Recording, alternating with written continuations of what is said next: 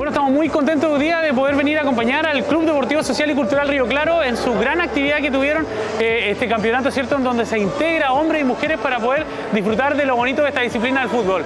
Eh, a propósito, también agradecer al gobierno regional por el financiamiento de estas actividades. Nosotros como municipio estamos realizando una gran inversión en infraestructura pública en nuestros recintos deportivos que administramos a través de la Corporación de Deporte. Pero también es importante señalarlo, tenemos una inversión en este recinto que es el gimnasio regional de la modificación de camarines, de iluminación de la modificación del acceso principal y todo el hermoseamiento de este gimnasio, pero además también del tema interno, de las graderías, la pintura. Toda esta inversión pública eh, no tendría razón si es que no tuviéramos este tipo de actividades que le dan vida a los gimnasios, que le dan vida a los recintos y hoy día nos sentimos totalmente orgullosos de lo que ha realizado el Club Deportivo Social y Cultural Río Claro.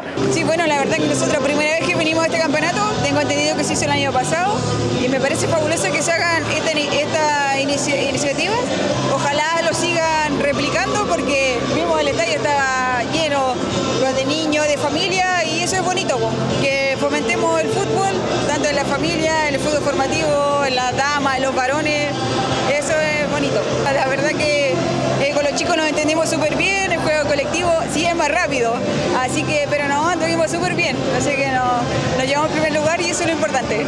Cuando se hacen cosas así, es importante que se acerque la familia al estadio sin miedo, que vengan a, obviamente con sus hijos, ¿cierto? Con niños, así que no, a disfrutar. Bueno, muy contenta como gobernadora regional, sobre todo por la forma en que hoy día el 8% ha venido a cambiarle la cara al deporte.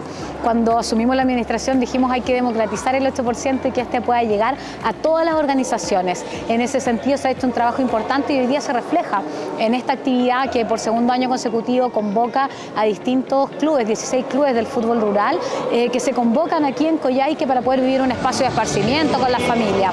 En ese sentido es fundamental para nosotros motivar a todas las organizaciones a que sigan postulando al 8% y también a seguir avanzando en desarrollo humano. Sabemos que cada peso que uno pone en deporte lo que está haciendo es trabajar en prevención, en salud mental, promover espacios seguros para todas las familias de nuestra región. Este es un evento muy importante para la comunidad y realizado justamente por los vecinos y las vecinas, el Club Deportivo y Social del Claro que armó este gran campeonato con 16 equipos y ayuda también en lo social, no solamente en lo deportivo, porque esto hace que la gente pueda recrearse, pueda tener esparcimiento, un fin de semana con alegría, con deporte, con vida sana y eso ayuda mucho también a nuestra salud mental. Así que muchas felicitaciones a este club social que realizó este campeonato el fin de semana y esperemos que se vuelva a repetir el próximo año.